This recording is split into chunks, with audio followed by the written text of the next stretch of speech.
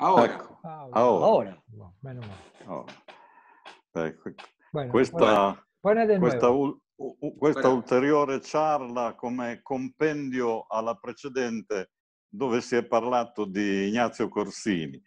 Eh, con grande piacere, devo, de- devo dire da parte mia e credo anche da parte di tutti gli italiani che come me hanno approcciato il tango attraverso il ballo, che eh, nelle milonga, soprattutto nelle milongas, eh, purtroppo si corre il rischio di non arrivare a conoscere persone, cantanti, artisti come Corsini, perché raramente vengono eh, i, i- i DJ, i musicalizzatori, pongono questi temi per ballare, quindi si corre il rischio di non conoscere.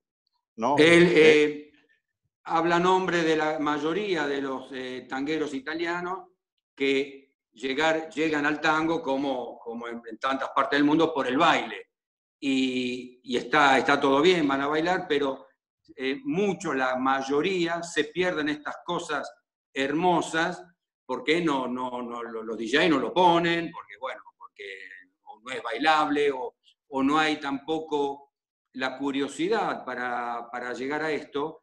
Y Sandro subraya que se están perdiendo eh, una cosa hermosa del tango. Eh, sto dicendo, eh, sto facendo una sintesi, sto dicendo che si Certo, perdono sì, sì, senza certo. conoscere l'altro 70% del tango, una cosa meravigliosa, porque el tango Certo. bailado podemos decir que es un tercio del universo tanguero. Esatto. E in particolare, poi finisco, per Corsini, da cui eh, eh, si, si evidenzia chiaramente una, eh, nonostante lui sia partito piccolissimo dall'Italia per arrivare in Argentina e abbia avuto in fondo pochi contatti con l'Italia, no? gli sia rimasto dentro, forse a livello di DNA, questo stile tipico del canto italiano, Ah, ok. molto, in- molto ingolato, molto Sì. romantico, molto Sì, dolce, sì, no? sì, che lui sì, conserverà tutta la vita e che lo differenzia da tutti gli altri, no? Ok. Eh, soprattutto da Gardel. Sí, sí, claro. Sí, eh, está diciendo que no obstante que llegó chiquito a, a la Argentina, esto es una consideración que hace Sandro porque es un técnico también de, de estas cosas, eh, Sí, sí, sí. que encuentran la manera de, y también los argentinos que entienden. Yo cuando escucho Corsini escucho, escucho un- uno que viene del campo que canta, del campo a la ciudad, pero la manera de cantar, nos está diciendo Sandro, es, es muy típica de- del canto italiano, por ahí lo tenía en el, en el DNA, en el AND, como se dice en, en- en el mundo español, y, y que esto lo caracterizará para, para toda la vida y que lo diferenciará de otros y del mismo Gardel. Y fue Ah. uno de los pocos, como dijimos en la charla anterior, que no, que no, que no quiso imitar a Gardel. Sí. A mí me gustaría decir algo que muchas veces, que, que hemos dicho sobre todo cuando eh, generosamente ustedes nos invitaron a, a dar unas charlas en Italia, que lo que pasa con Corsini pasa con muchos artistas. Y es, el- es lo siguiente. Corsini es un argentino que nació en Italia, como muchos otros, como Morán y todo. Ahora bien, los argentinos, aunque no tengan ascendientes italianos, por la composición tan particular de nuestra sociedad, reciben esa influencia. Eh, eh, todo eh, puede haber nacido, pu- puede ser descendiente de españoles o de polacos, y sin embargo tienen incorporado, como nosotros, nosotros somos una mezcla, tenemos incorporado elementos de los pueblos originarios, tenemos incorporado obviamente elementos de España, hay también elementos del... Molto interessante quello, perdoname Roberto se ne poi mi Sì, perdo, sì. quello che ci dice Martinez, ehm, che dice lui poteva, eh, lui è arrivato che aveva 5 anni, è arrivato dall'Italia, ma magari se fosse nato lì o fosse arrivato da un altro paese, probabilmente quella maniera di cantare era lo stesso perché era Sì. già dentro alla società eh, certo. eh, di Buenos Aires, la società argentina, eh, questa, questa maniera del canto italiano, come magari avevano altre cose di altri paesi, quindi è, è- una mescolanza molto particolare, molto interessante quello che è accaduto eh, en el Río de la Plata. Yo siempre uso un ejemplo muy gracioso, eh, que es gracioso pero es real. Y digo, eh, los argentinos somos muy afectos a comer pizza. Para nosotros pizza, pizza, ¿no? Y es casi como, como una comida, debe ser de la, la más popular, o la, además del asado. Y curiosamente, casi todas las pizzerías, bueno, ahora no tanto porque se va perdiendo, va pasando el tiempo, pero todas las pizzerías estaban en manos de gallegos. Entonces, Vedi la differenza? È una cosa, è, è bellissimo questa relazione che fa nella società di, di, di, di mescolanza. La pizza è un, è, è un, mangiare italiano e la pizza oh. in Argentina, non so, è famosa come l'asado o dopo l'asado. Sì. Ma adesso non tanto, ma fino a qualche decennio fa, tutte le pizzerie erano in mano, o la stragrande maggioranza, erano in mano gli spagnoli, non agli italiani. Quindi facevano la pizza certo, che è un prodotto italiano, ma la producevano i, i, i, negozi, i ristoranti, le pizzerie erano degli spagnoli. Certo. Quindi questo è un esempio, un esempio di, di questo incrocio eh, meraviglioso che, che, che, che, c'è stato Certo, una magia. Sì, una magia, una magia.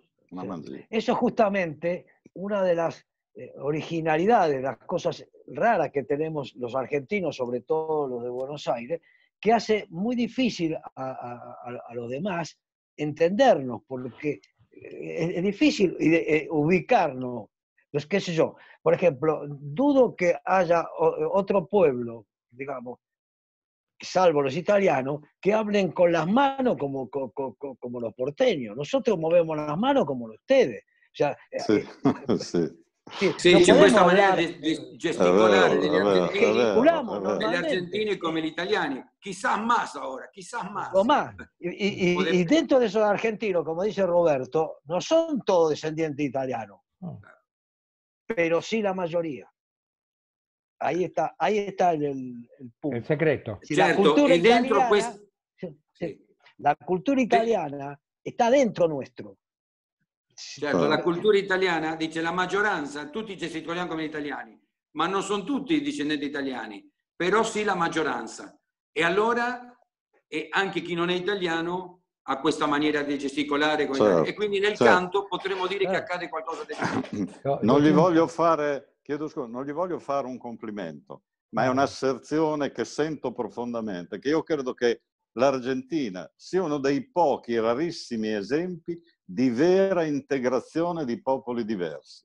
Eh, cioè, si no, sono che... fusi proprio, una fusione totale, in armonia, sì. senza sì. suscitare differenze di razze, di livelli. Cioè, è, questa, secondo me, è un vero esempio di integrazione. È vero. Parere mio. Sí. Eh, eh, Sandro, eh, sí. es muy importante lo que nos dice Sandro, sí. porque Sandro está afuera de, de, de, de lo nuestro, ¿no? Eh, está adentro, pero, eh, pero nunca estuvo en Buenos Aires.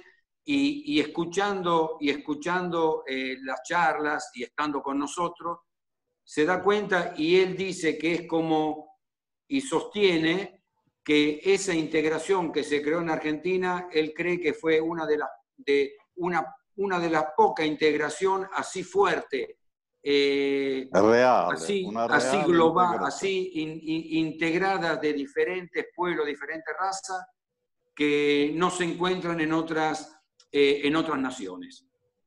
Sí, y, y, el ejemplo de eso es el TAP. El ejemplo de cuál el TAP. Exacto, exacto. Y eh, sí también que ha habido, habrá habido momentos de racismo, no así fue, no, no evidente. Eh, eh, ganaba, la, mm, ganaba la integración este, natural, digamos. Sí, sí. Bueno, Mira, volvemos a Corsini. Volvamos a Corsini, sí. Pero dejame una sola cosa. Para cuando decimos que Gabino Seiza era negro, que Enrique Maciel era negro. Nosotros decimos negro. Y en realidad, a mí, como argentino, me choca cuando dice afro-argentino. No, es argentino, es un negro argentino. Para nosotros negro no es malo, eh, no, no, es malo, es normal, es un negro. Como eh, eh, este uno puede ser este, rubio, colorado, no, no, no, no califica mal. In Argentina la parola nero non è no. una cosa che squalifica. No. Eh, è, come Tano. È, Dopo, è, è carignosa. È carignosa, sì. è, è, affettuosa. Infatti, è affettuosa. infatti, affettuosa, sì. Infatti, sì. infatti mi, ha mi ha molto colpito, quasi commosso, il fatto di scoprire che quando voi vi rivolgete a un bambino eh, piccolo che, che, dice ma che lindo, che negrito, no? Che, cioè, il negro addirittura è qualcosa di bello ed è una cosa stupenda. Sì, también Hola. Se cortó. È scomparso. No, no, no. Ah, está, Patricio. Mi stanno chiamando, ecco. però corté, corté, corté. Eh. Sì. No, è, è bueno, un aspetto straordinario. Re, certo, ritorniamo certo. a Corsini. Corsini. Sì. Eh, Poi, Conta un poco della pulpera, eh, Alejandro, de, de, de toda bueno, la temática. Eh, okay. sí. Sí, la pulpera Santa Lucía, que la escuchamos, eh, la puede escuchar en la reunión anterior, que cantó Bárbara, acompañada de Marcelo, eh, es uno de los discos que más se ha vendido en, en, en, la historia, digamos, de la cultura popular. Es decir, se vendieron más de un millón de discos en una época donde no había tanta población, así que tuvo un éxito impressionante. Quel successo, quel vals che prima ha cantato eh, Barbara accompagnata da Marcello, eh, la Pulpera Santa Lucia, ebbe un, un, successo eccezionale, si sono venduti più di un milione di dischi e pensiamo che era all'inizio degli anni 20. Claro, es decir, eh, estos dos autores, Enrique Maciel, que fue guitarrista de, de, de Corsini, que, que, hizo la música, y Héctor Blomberg, que hizo las letras, crearon una serie de, de, de obras que fueron las que le dieron a, a, a Corsini su, su, elevado nivel. Esas obras, en general, trataron de una época de Buenos Aires, la época de Rosas, este, los años 1830, 1850, y sí, perdón. Eh, sí, Enrique perdón. Maciel, que era el guitarrista, eh, faceva la música, eh, Blomberg era el, eh, el, el letrista. En italiano. ¿Eh? En italiano. Está traduciendo en castellano, Patricio. ah. Bravo Pat, dai. Il chip mi sta, mi estoy... Allora, Enrique Maciel, Enrique Maciel era colui che componeva la musica e eh, di, di, origine nera, era afro-argentino, ma negro per negro, noi. Ma che negro, il negro, il negro Maciel le dicevano, e Blomberg, eh, colui che faceva i testi, crearono dei brani meravigliosi che poi li cantava Corsini e che ebbe, eh, fecero un grande successo appunto questo, questa, questa società, diciamo, questa unione di questi tre personaggi. E, sì e soprattutto erano temi eh, molti ambientati nel periodo de, del Rosa, nel periodo degli anni 1800, dal 1830 al 1850. 1829-1852. 1829 per essere preciso, 1859. Okay. Eh, fíjese que en, en, la letra de la pulpera va a aparecer términos como mazorquero, Sí. Mazorquero, es la mazorca era, digamos, una, un, un grupo, digamos, de, de, de, choque. De milicianos, de, de soldados, de, de, lucha que tenía Rosas. Sí. Aparece también el nombre de Lavalle. Lavalle fue un general que se enfrentó con Rosas. Es decir, va dando ese clima. Es decir, hasta de tal nivel que muchos creen que eso era lo que había pasado, pero en realidad es, una, es un clima poetico basado en esa época. Certo, si crea un clima poetico fatto in quel periodo, tanto è vero che si parla della Mazorca, che era un gruppo militare o paramilitar, sì, no? Sì. Eh, paramilitar che, che, aveva Rosas, e parla della Valle, che era un oppositore a Rosas, e, e quindi viene, e dice sembra che sia successo solo quello in quel periodo, ma le, e, ovviamente non era solo quello, però veniva l'humus in cui veniva fatto queste canzoni, queste cose erano ambientate in quel periodo lì, in maniera ovviamente eh, romanzata. Ah, yo creo Otras que- obras, por ejemplo, La Mazorquera de Montserrat, Sí. China de la Mazorca, las guitarras San Nicolás. o sea, e- era, esta- él, eh, Blomberg, digamos, poetizó, digamos, toda esa, esa etapa y le dio a, a conocer un repertorio extraordinario che, che- che todavía que yo- Sì, eh, ha messo in poesia Blomberg tutto quel periodo lì, ripetiamo, e le ha consegnato appunto per il canto a Corsini, che fu un successo enorme e che oggi tutti quanti anche ascoltiamo. O sea, es que pienso que la gente está convencida que, que los payadores, los gauchos en la época de Rosas cantaban como Corsini. La cosa pero- incredibile è che la gente magari è convinta che i gauchos, i pasadores nell'epoca del Rosas cantavano come Corsini, loco, pero... che fra l'altro era arrivato dall'Italia. Certo. Ah, no dijimos que Bárbara estuvo bárbara, ¿eh? Bárbara estuvo- Barbara estuvo. Bárbara. Para que se entienda. ¿Puedo, puedo decir una cosa? Todas. Sí, ¿Puedo Sí, hacer sí. una cosa? Sí. Esto voy a hacer, un segundo. Ya los años se van pasando y en mi pecho nuestro querer. Mi vida tuve muchas, muchas vidas, pero nunca una. Bueno, un tango que tutti ballano, que todos bailan en cualquier parte del mundo, patotero sentimental. eh, lo bailamos generalmente con Di Sarli cantando Rufino y acá lo hemos escuchado cuando una grabación de Roberto de Ignacio Corsini, eh, la música de Jovés y la letra de Manuel Romero. Yo Eh, lo grabó Gardel también, ¿no? sí. Pensé que ibas a decir que era autorreferencial. Este tango.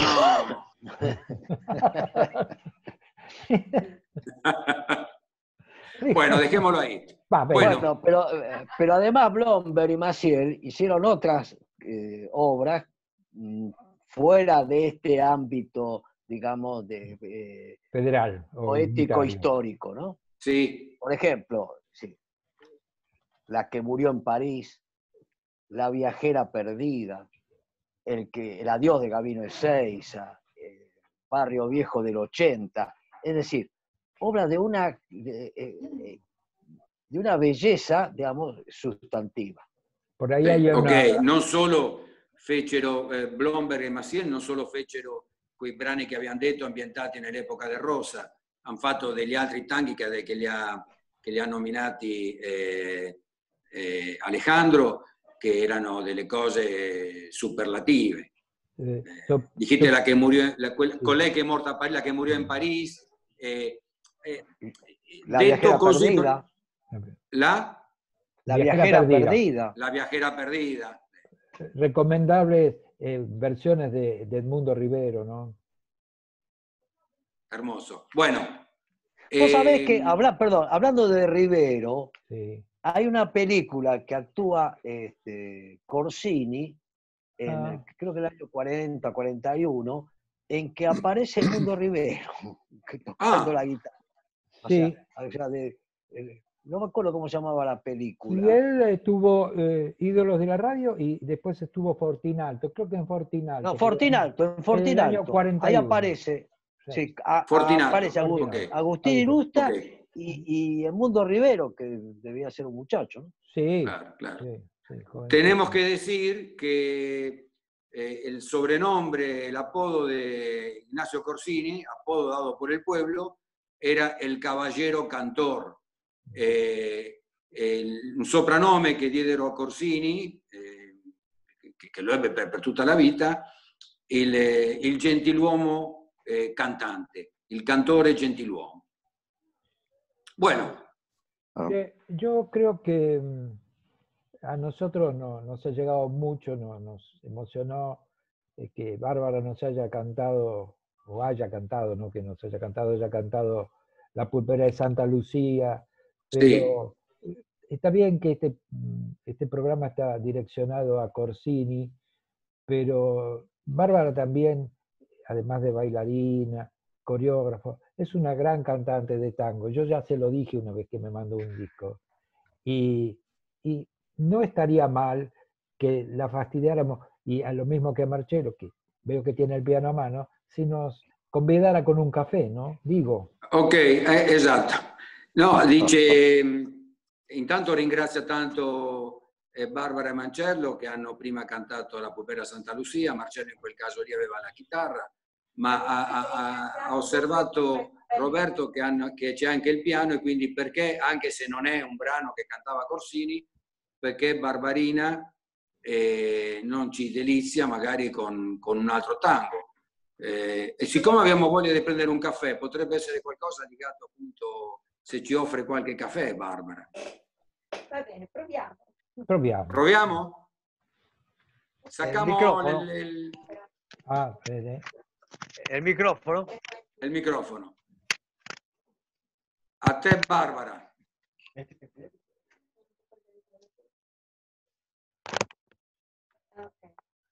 Ok.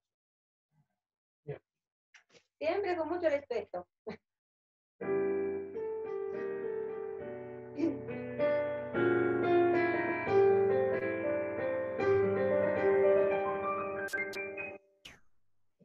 tu recuerdo en torbellino, vuelve en el otoño atardecer.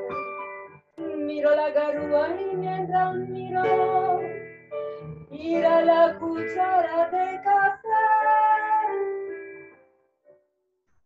del último café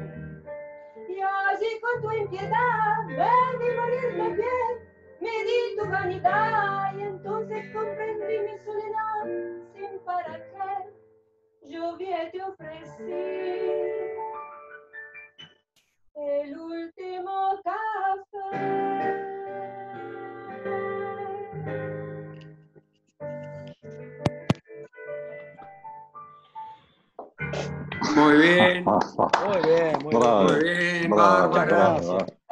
Barbara Faccani e Marcello Ferrara, italianos de, de Ravenna, eh, cantando y tocando, y tocando tangos. Eh, eh, Bárbara habrán visto que tiene un acento que casi no, no parece italiana porque vivió en Mendoza. ¿eh? Así que, ¿te gustó Mendoza? Muchísimo. Yo, yo vivía allá ho vissuto là, parlo in italiano così tu lo Ecco, traduci. Sì, sì. Ho vissuto a Mendoza per più di un anno. Ok. Un anno lavoravo in una compagnia di danza e là parlo del tutto il 2000 e parte del 2001 e là ho incontrato il tango. Per cui Ok. dico, mi ritengo fortunata perché prima ho vissuto come loro e poi ho cominciato a dominare il tango. Benissimo. Vivió, vivió en Mendoza un año, en el año 2000, 2001, 2000, 2001 y, este, y trabajando como bailarina en una compañía y, ahí descubrió el tango y, lo que es y lo que es la sociedad argentina en Mendoza en ese periodo y cuando vino a Italia eh, empezó a, a- a en- a enseñar tango y, y a pasar lo que había lo que había visto, lo que había absorbido eh, en, en- en Mendoza, en Argentina. Gracias, Bárbara. Muchas Y también, cono- también conoció el buen vino. Claro. Y el buen vino. ¿eh? Claro, claro, claro, claro. E noi teniamo in comune con Corsini il fatto, anche noi abbiamo una cosa in comune, siamo, viviamo in una città della Pampa Romagnola, una piccola città La città della Piadina, ¿eh, ¿no? di campagna. Sí, sí, Sí, sí. sí. La- Exactamente. Bárbara, co- Como la Piadina si mangia be- Sí, como sí, La Piadina. sí. Bene. Y, y, bueno, que vive en una pequeña ciudad de, en- de, de- de Ravenna, eh, es, una, es una provincia, ellos viven en, en Lugo, dico bene, anche Marcello vive abita a Lugo. Io Io vivo-. Lui a Forlì, io a Lugo. Ah, él vive en Forlì y, Lugo. y Bárbara en Lugo, In questo eh, momento siamo que queda, queda cerca de Ravenna. Bueno, Bárbara nos invitó a Lugo, nosotros conocimos Lugo. Eh, Sí, Yo como yo bárbaro. sé. sí. Muy, muy linda. Tenemos muy lindo. Y yo en, el, en los años 72, 73 jugaba al fútbol en, en el Lugo, ahí, ahí jugué al fútbol. Eh, También eso me tocó hacer para sobrevivir. Bueno, eh, eh, como estamos ya casi terminando, le dejamos a Sandro che quiere sempre hacer una pregunta. Vamos, Sandro. Ma più, più che una, sì, è una domanda, è una Sì. conferma. Mi ha molto colpito di Corsini questo, questo artista così poliedrico, no? così bravo, così affermato, che, che addirittura diventa un pajador bravo come i pajador che c'erano là, ma eh, che comunque conserva un, un- senso della famiglia. Lui quando finiva i suoi impegni artistici tornava a casa. Non era un, un- un- un- un menestrello che gira, che va... Era, eh, lui tornava a casa. Dice que lo que, Aveva un senso Sí, della famiglia. lo que le llamó mucho la atención, que no obstante un personaje de la noche, un cantante, cuando terminaba lo que tenía que hacer, volvía, volvía a casa y, y bueno, una persona eh, muy, muy tranquila, diría. No sé Sí, si ustedes confirman esto. Sí, con sí, un justa- senso... co- sí, Con un, senso de con un Mente. sentido de la familia. con Sí, un a- sentido- a- Pero, absoluto. eh, él tuvo un casamiento, eh, digamos, muy estable Sí, y, y el quiebre de él como artista se produce cuando muere la mujer. sí. Cuando la mujer, un- él tiene un golpe muy grande y ahí Sí. prácticamente se, se- se retira. Vuelve después, pero Ok. él, él- él se no. retira cuando muere la mujer. Quando- Dice che è stato un matrimonio riuscito e che sì. eh, quando è morta la moglie lui ebbe un colpo veramente notevole e lì eh, iniziò il declino, poi ritornò ma non era quello di prima. Certo, e questo... un artista No absoluto. era, no era una torrante della noche, No, no, era no, una torrante No, della no, noche. Fue, fue lo, que, lo que proclamaba el pueblo, era un, un caballero eh, y fue un artista absolutamente querido, eh, entrañable artista para, para, la- para el pueblo, ¿no? Un artista popular, pero con ese, ese toque de distinción, esa finura. Sì. eh, Un artista popolare ma con un tocco di distinzione, lo distingueva e, Meraviglioso. e per quello è stato battezzato il, il- il- il del tango, eh, sì, il- sì. Il- Perfecta, perfecta sì, il gentiluomo, ecco, un il gentiluomo, gentiluomo. Bueno, Ok, eh, bueno, muchas gracias a todos. eh, Muchas gracias. En un ratito tendrán este material. yo pondría como, eh, para irnos despidiendo, Sí. agradeciendo, pongo el, el- el adiós a Gabino Ezeiza Sí. por bien. Corsini para, de- así Bien. como Sí, sottofondo sí, musicale. Un bellissimo brano. Escuchamos, gracias. Gracias y abrazo a todos. Un gusto verte. Ok, a todos. Grazie. Ciao Barbara, ciao Ciao, Marcello, Sandro. ciao a tutti, Ciao. alla prossima. Ciao, ciao. Ciao. Yo que he sido tu cantor, de mi guitarra el rumor recogió en sus melodías. Recogió el recuerdo de otros días que jamás han de volver. Los viejos cantos de ayer que fueron las glorias mías.